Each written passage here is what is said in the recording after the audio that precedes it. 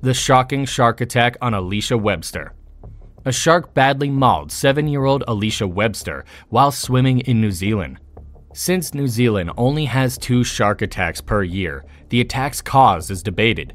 However, over 70 shark species, including the great white, live in the country's seas. In 2005, the Websters chartered a yacht to Malakula.